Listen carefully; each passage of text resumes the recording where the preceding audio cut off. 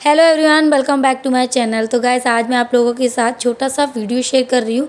अपने घर का पूरा हाउस टूर व्लॉग आप लोगों के साथ शेयर करूँगी। इससे पहले आप मेरे चैनल को सब्सक्राइब कर लो और बेल आइकन दबा के ऑल पर क्लिक कर लो, जिससे आपको हर एक वीडियो की नोटिफिकेशन सबसे पहले आपको मिल पाए।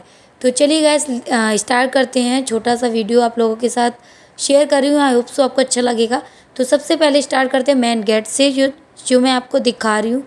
ये मेरे घर का मेन एंट्री गेट है। तो गैस इसके लेफ़्ट हैंड पे है हमारी बैठक। इसको हॉल भी बोलते हैं और ज़्यादातर इसमें गेस्ट वगैरह ही आते हैं तो इसको हम बैठक ही बोलते हैं। और ये है पोर्च बहुत बड़ा पोर्च है, जिसमें आप गाड़ी वाड़ी बाइक वगैरह भी रख सकते हो। और इसको जो मेन गेट है, इसको हमने कवर करके रखा है।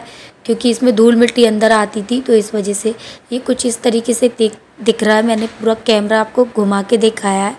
और बैठक में क्या ज़्यादा कुछ डला नहीं है, सिर्फ़ सोफ़ा डले हुए हैं और एक सिंगल बेड डाला हुआ है, जिससे कभी कोई आता है तो वो आराम कर लेता है। तो इस वजह से ऊपर थोड़ा बहुत इसमें लाइटिंग का भी काम हो रहा है।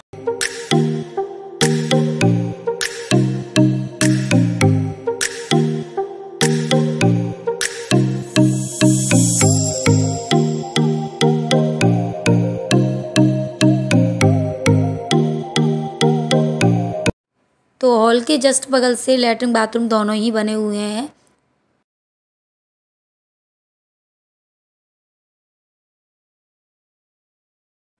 तो ये है छोटा सा बाथरूम, लेकिन मैं इसको, इसमें अंधेरा इसलिए क्योंकि इसके बल्ब को पता नहीं क्या हो गया है तो इस वजह से इसे जल नहीं रहा है। तो बस ये इस तरीके से दिखता है और इस तरीके से मतलब स्पेस दिया हुआ है यहाँ पे भी। इसके जस्ट ऊपर जाल लगा हुआ है जिससे हवा वगैरह जो है आती रहती है और ये मेन डोर है अंदर के लिए। मतलब यहाँ पे गैस लाइन भी आ, आ, जो है स्टार्ट हो गई अभी गैस लाइन लग चुकी है प्रॉपर तरीके से और इस तरीके से दिखता है। इस घर में जो रूम है वो मैं आपको दिखाती हूँ। तो ये जो है मेरा रूम है जो मैं आपको दिखा रही हूँ ये वाला रूम है मेरी देवरानी का रूम है। तो मैं सबसे पहले आपको अपना रूम दिखा देती हूँ। सिंपल है ज़्यादा कुछ डेकोर डेकोर वगैरह नहीं करके रखा है। क्योंकि अभी नया नया मकान है तो इस वजह से तो ये मेरा बेड है और इसके, इसी बेड में ही, ये थोड़ा सा थोड़ा सा छोटा रूम है क्योंकि इसमें एक छोटा, एक बड़ा रूम है तो ये छोटा है थोड़ा सा और जो मैं अभी दिखाऊँगी आपको वो बहुत बड़ा है। तो ये कुछ इस तरीके से दिखता है, मेरी एसी लगी हुई है और ये गेट जो था पहले ओपन था, लेकिन अभी मैंने इसमें जो एक गेट लगवा लिया क्योंकि ओपन वो अच्छा नहीं लगता था। सर्दियों में क्या है ना, हवा बहुत आती थी। तो इस वजह से ये इस तरीके से अगर ये पोर्च दिया हुआ है, इसमें भी ऊपर जो है जाल दिया हुआ है, जिससे क्या होता है ना एसी का पाइप वगैरह इसमें से कनेक्ट हैं, जिससे यहाँ पे पानी वानी जो है वो गिरता रहता है। बाद में इसको साफ़ कर देते हैं। और ये मेरा कबाड़ रखा हुआ है उसी के ऊपर। बच्चों के कुछ खिलौने रखे हैं मैंने। और इस तरीके से कुछ ये दिखता है। तो चलिए आपको नेक्स्ट दिखाते हैं। तो ये है, आप इसको डाइनिंग एरिया बोल सकते हो, पर हमने डाइनिंग टेबल नहीं रखा है। तो यहाँ पे दो फ्रिज रखी हुई हैं, ऊपर भी लाइटिंग हो रखी है। यहाँ पे बहुत अच्छा लगता है खाना वाना खाने के लिए। किचन के जस्ट किचन को निकलते ही है ये। तो इसको आप डाइनिंग डाइनिंग एरिया ही बोल सकते हो। और ये है किचन छोटी सी है, लेकिन बहुत अच्छी है किचन है। और इसमें सारा जो इस तरीके से सब कुछ जमा के रखा भी सब कुछ प्रॉपर नहीं है, क्योंकि अभी अभी शिफ्टिंग हुई है। तो इस वजह से तो जैसा है, वो मैं आपको दिखा रही हूँ। तो यहाँ पे सब कुछ किचन आप देख सकते हैं।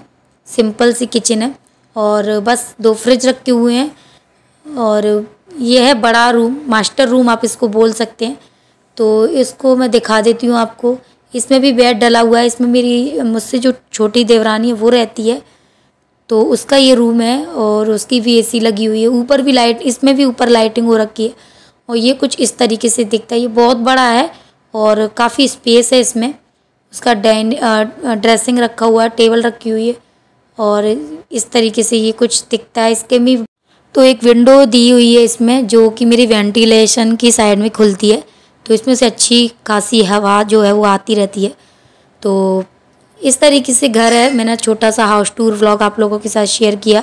आई होप सो आपको मेरा ये छोटा सा व्लॉग अच्छा लगा होगा। अगर अच्छा लगा है तो सब्सक्राइब कर देना बेल आइकन भी दबा देना और जिससे मेरी हर एक वीडियो की नोटिफिकेशन सबसे पहले आप तक पहुँच सके।